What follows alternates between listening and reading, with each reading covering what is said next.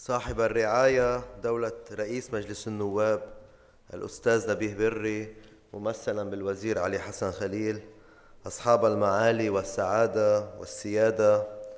أيها القادمون من بلاد الانتشار أيها الحفل الكريم. يسرني أن أشارككم اليوم افتتاح مؤتمر الاقتصاد الاغترابي الذي تنظمه مجموعة الاقتصاد والأعمال. ضمن البرنامج المخصص للبحث في مواضيع تتعلق بالنمو الاقتصادي الاغترابي وهي مواضيع تحتاج إلى جهود مجموعات عمل منتظمة ضمن خطط استراتيجية تعالج الحاجات والمخاطر لجهة الهوية والحريات وانفلاش الإرهاب الذي يهدد كل أواصر الحياة البشرية بدءا بحقوق الإنسان وصولا إلى حق الاختلاف بمعنى أنه يهدد الحضارة البشرية بأكملها وهو بمطلق الأحوال نقيض لبنان الرسالة والتنوع. إن النمو الاقتصادي ينطلق من بيئة مستقرة تراكم الإنجازات المحققة وتستفيد من التجارب.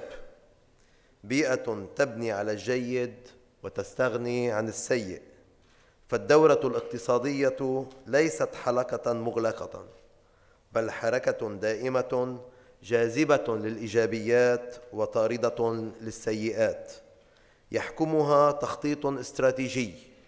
ذلك أن الفوضى الاقتصادية ولو رشح عنها بعض الإفادة لبعض المستفيدين إلا أنها تكون طفيليات تقتات على بقايا زائلة.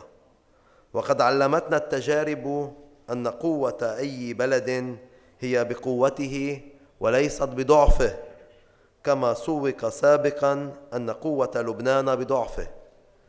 وأن أحد عناصر القوة التخطيط وليس الانسياب الدائم مع الممكن والرضا بالقائم.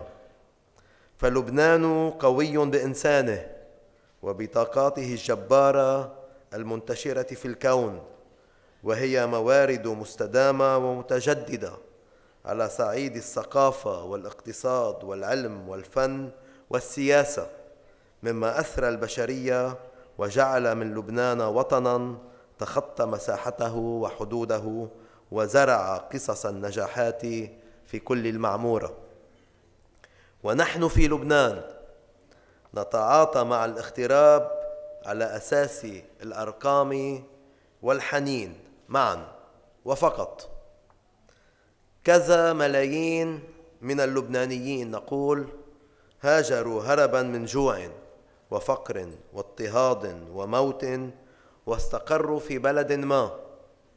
وأرقام تحولاتهم المالية تبلغ كذا.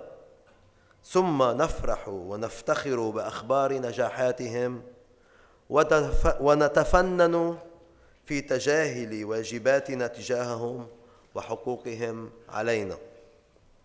أفلا يجب أن نسأل أنفسنا ما الذي يربط هؤلاء الناجحين بوطن لا يستفيق من أزمة حتى يغط بأخرى؟ في لازمة من الانتحار الذاتي. إن ما يربطهم بوطنهم هو أغلى ما في الحياة المحبة.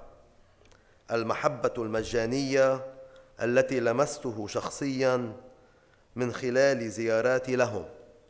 وهي ما شجعني على إطلاق لقاء الطاقات اللبنانية الاغترابية والذي شهد إقبالا فاق كل التوقعات وسمح لنا بإمكانات محدودة جداً باستضافة 2500 مغترب في العامين السابقين.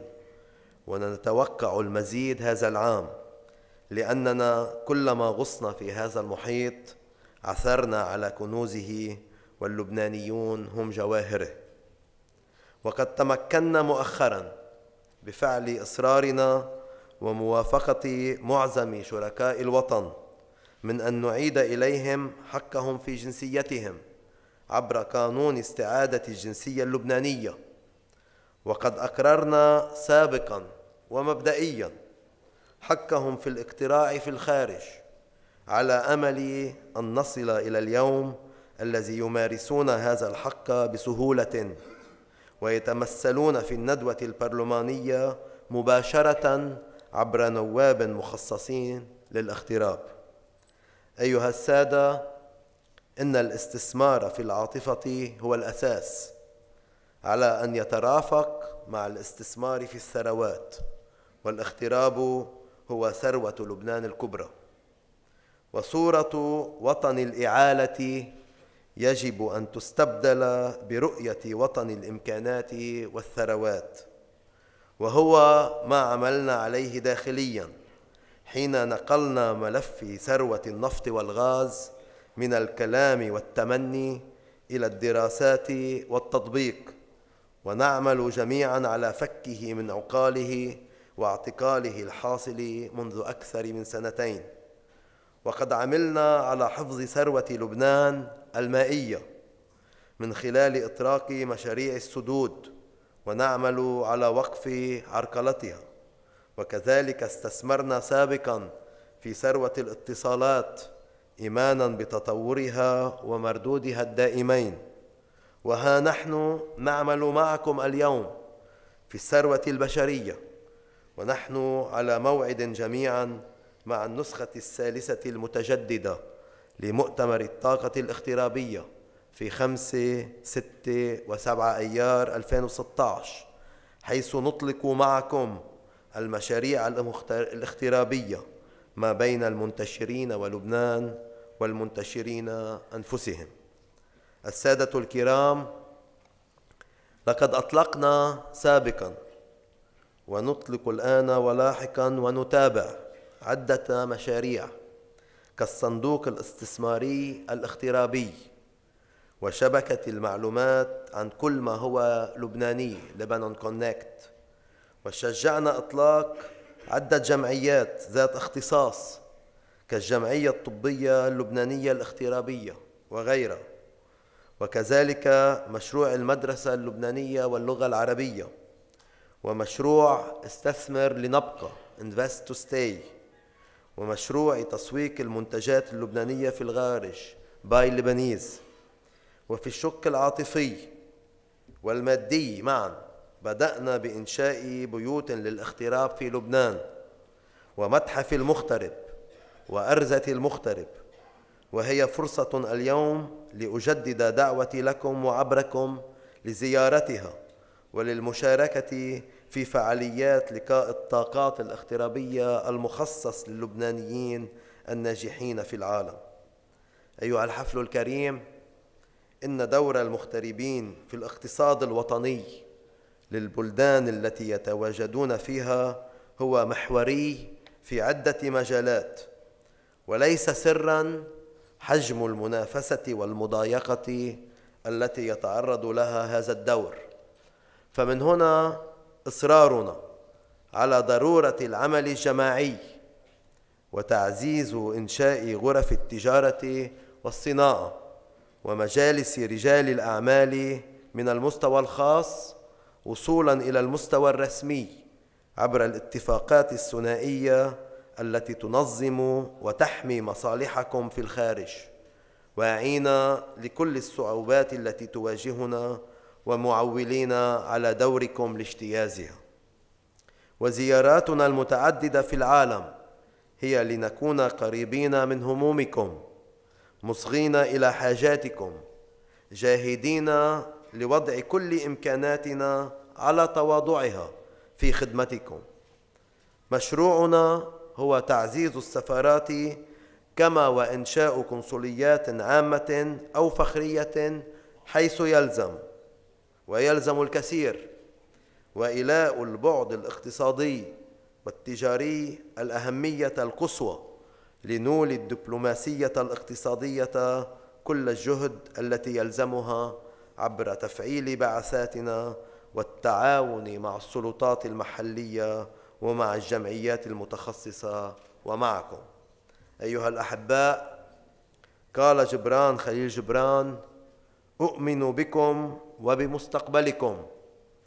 أؤمن بأنكم مساهمون في هذه الحضارة الجديدة.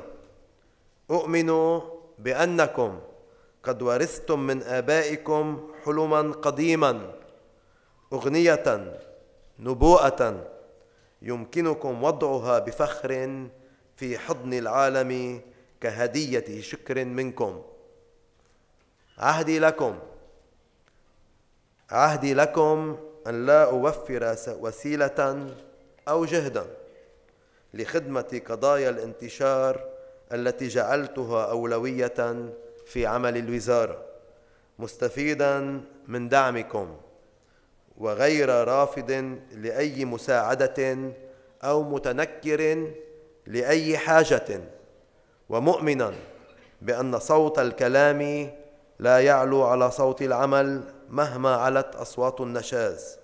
فخدمة الوطن تسمو وتسود وقضاياه تعلو. وفقكم الله في أعمال مؤتمركم وإلى اللقاء القريب. عشتم وعاش لبنان.